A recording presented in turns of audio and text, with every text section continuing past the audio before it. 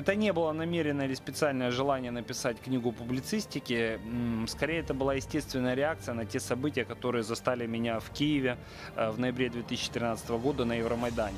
Дальше были Крымская весна, были война на Донбассе. И вот реакции на эти э, события, которые, мне кажется, изменили сначала и Украину, и Россию, а дальше перетряхнули все прежнее мироустройство, стали мои тексты. Это статьи, репортажи, аналитические материалы. И вот э, когда набралось их определенное число, и когда стали происходить некоторые события, мне показалось важным отразить действительно независимую, неангажированную позицию человека, который оказался вот в центре вот этих событий. И к этому, к публикации, скажем, к изданию моей книги стала гибель, убийство э, моего товарища и коллеги Олеся Бузины. Э, После этого я всерьез задумался о том, чтобы издать книгу. К тому же очень много моих читателей, которые читали мои тексты, которые реагировали на них живо, просили как-то издать книгу вот э, о том, что произошло. И я, я решил сделать это.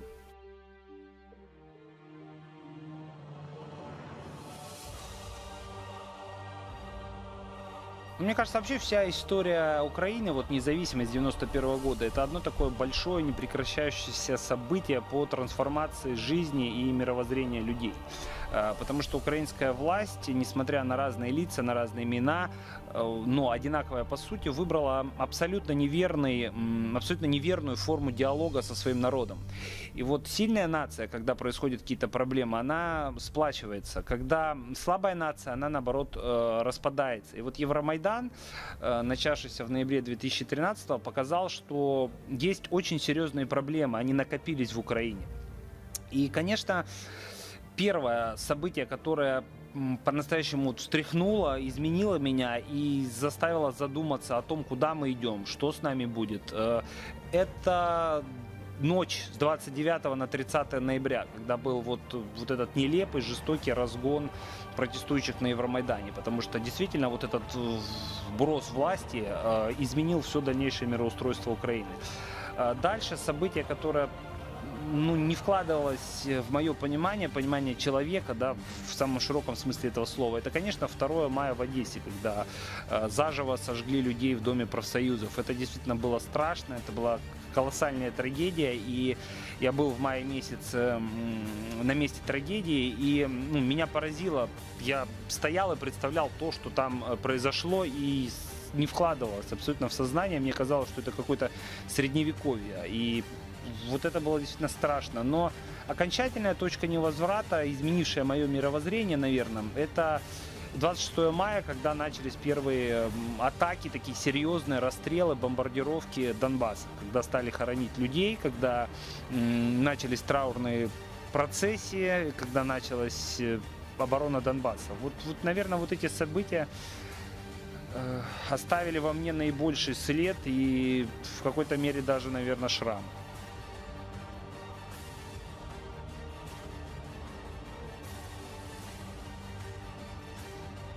Знаете, сейчас э, популярна такая точка зрения, что писатель ничего никому не должен. Мне кажется, что, безусловно, должен. И э, это однозначная моя позиция, что должен и принимать самое деятельное участие. И не только писатель, а человек в принципе. Мне близка позиция личная ответственность за то, что происходит. И э, за свою жизнь, и за жизнь тех, кто рядом. Потому что, как было замечательно у Гребенщикова, если каждый возьмет вину на себя, то на всех не хватит вины.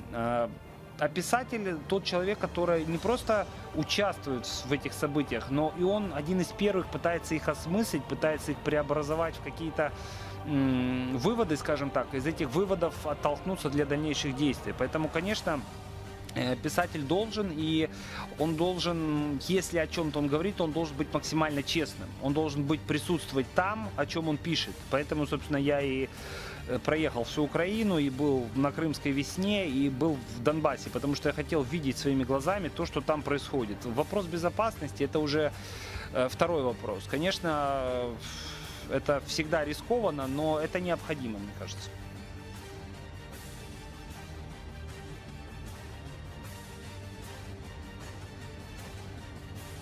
Моя книга не случайно называется «Дневник русского украинца», потому что она не за Россию и, за, и не за Украину, но в то же время она и за Россию, и за Украину, за русский и за украинский народ. Это, как я сказал в начале, вот э, некий мостик, который связывает два наших народа, которые пытаются разделить. Потому что, к сожалению, вот э, сейчас э, очень сложно поддерживать и Россию, и Украину. Сейчас, э, мне кажется, форма диалога между двумя народами, между двумя странами, между двумя государствами теряется.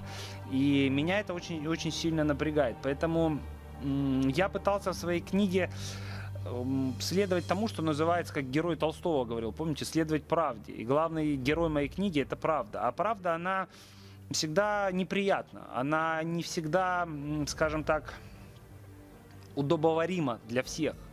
Э, поэтому, конечно, приходится сталкиваться с разными мнениями. И учитывая то, что в книге собраны тексты опубликованные и не опубликованные, но написанные за это полтора года, я сталкивался с очень разной реакцией людей. Э, я получал э, в день по несколько десятков сообщений абсолютно разного толка, где люди, например, одни обвиняли меня в том, что я излишне поддерживаем, скажем так, нацистов в Украине. Другие, наоборот, говорили, что я излишне поддерживаю, например, а, как называется, аннексию Крыма. Поэтому были совершенно разные спектральные оценки, что удивительно, люди на один и тот же текст реагировали абсолютно по-разному. Поэтому Поэтому да, это не ангажированная книга, это независимый действительно взгляд на события, который людям будет, я думаю, очень интересен, но в то же время не всегда приятен, но определенно полезен.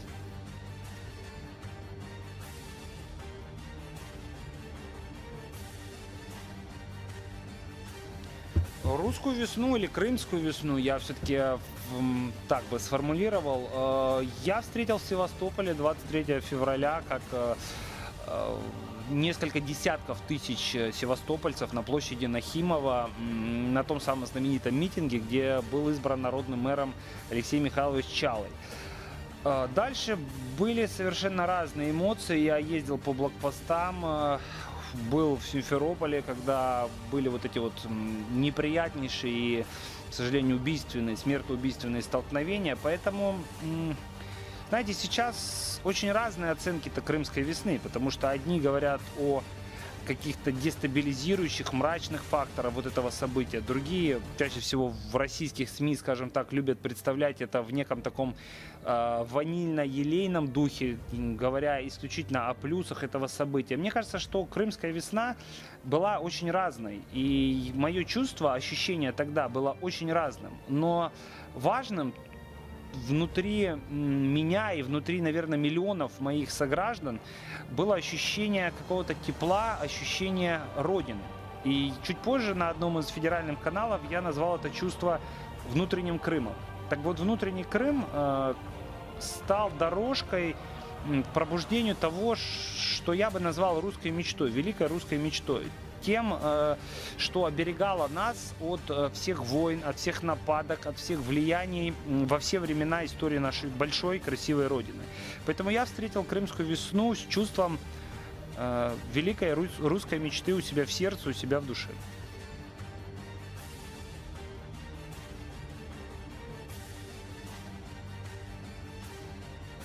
Были, безусловно, такие люди, и знаете, они были, их было очень много, и они были очень разные. Но в то же время их, наверное, объединяло две вещи. Первое – это подвижничество, ежедневное подвижничество. И второе – это некий внутренний героизм, потому что в качестве примеров я могу, например, назвать того священника, которого я встретил в Донбассе, который служил на передовой. Могу встретить доктора, который абсолютно бескорыстно с риском, с колоссальным риском для себя из последнего э, лечил больных.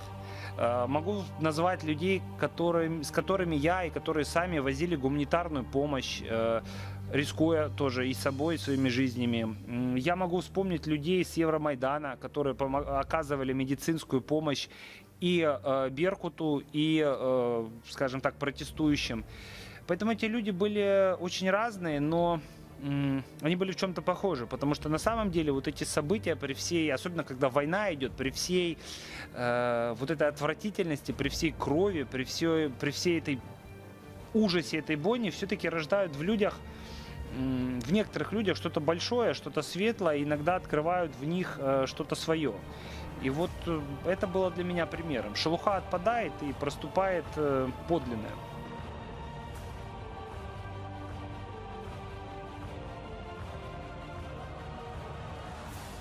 Я говорил уже о том, что, конечно, это и расстрелы э, людей на Евромайдане, и Одесса 2 мая, и 9 мая в Мариуполе, когда там сожгли людей. И э, война на Донбассе это одно, одна большая боль, наша общая. И когда ты попадаешь туда, ты понимаешь, что ну, насколько все это зря. А непонимание вызывает у меня, наверное, вся вот эта история, которая тянется даже до Евромайдана, наверное. История непонимания, история вражды между украинским народом внутри себя и между украинским и русским народом. Э, непонимание между людьми, непонимание между семьями, когда перестают общаться родственники, когда перестают общаться друзья, когда они вроде бы говорят об одном и том же, но на разных языках. Вот это у меня вызывает непонимание, потому что за всеми этими политическими, за всеми вот этими военными, милитаристскими лозунгами прежде всего должен быть человек, образ человека. И вот нежелание многих людей рассмотреть его у меня действительно вызывает э, большое непонимание.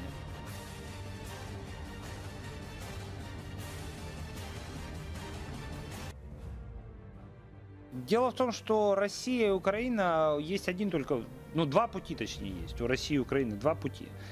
Первое это не быть в принципе, а второе быть вместе. Я не говорю сейчас о едином государстве, я не хочу педалировать на теме братских народов, я говорю о том, что, хотя мне близка идеология братских народов, я считаю, что Россия и Украина обязаны быть вместе. Это их исторический путь. Это одна плоть, э, одно целое. Да, это могут быть две разных страны, два разных народа, но они должны э, жить во взаимовыгодном партнерстве во взаимоуважении. И по-другому быть не может. Мы настолько тесно связаны друг с другом культурно, ментально, э, социально, политически, промышленно, что нам без, друг без друга нельзя. И когда вот начинается вот эта вот распря, которая сначала началась в Украине, а потом переросла и, скажем, на непонимание между двумя государствами, ведь мы с нее практически ничего э, не получили. Да, там выиграли какие-то люди, которые наживаются там на торговле оружием, на каких-то политических, может быть, дивидендах, но простые люди от этого ничего не выиграли, мы только проиграли.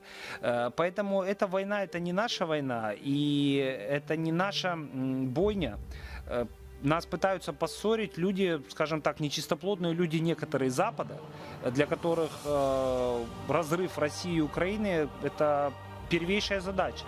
Потому что если мы не будем вместе, то для нас это очень-очень чревато.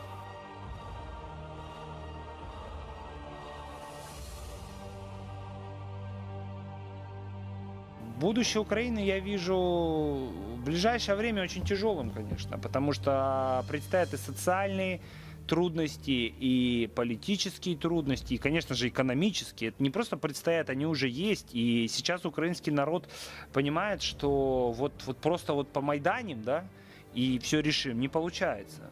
Э, и нужно работать и начинать с себя эту работу. Но я думаю, что Украина все равно э, переживет вот это вот трудное время и останется цельным, э, крепким государством. И государством со своей идеологией.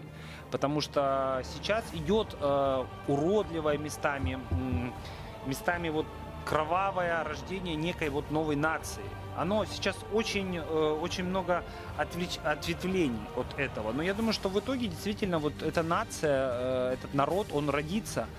И э, у него есть одно, опять же, будущее, как я уже и говорил. Это будущее с Россией.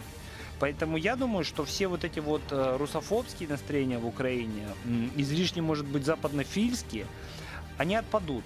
И будущее Украины, как и будущее России, я вижу вместе. Вместе двум этим государствам.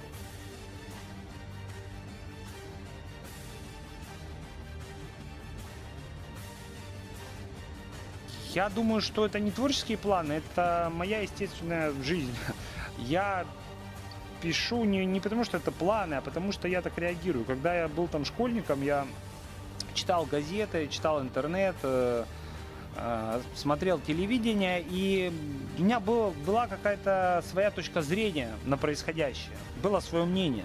И вот когда там судьба или Господь Бог предоставил мне возможность высказываться, потому что я считаю нужным, я стал это делать. И поэтому я эту возможность очень-очень ценю и буду продолжать это делать, потому что мне кажется, что сейчас э, нашим двум народам э, не хватает того, что апостол Павел называл образом здравых словес.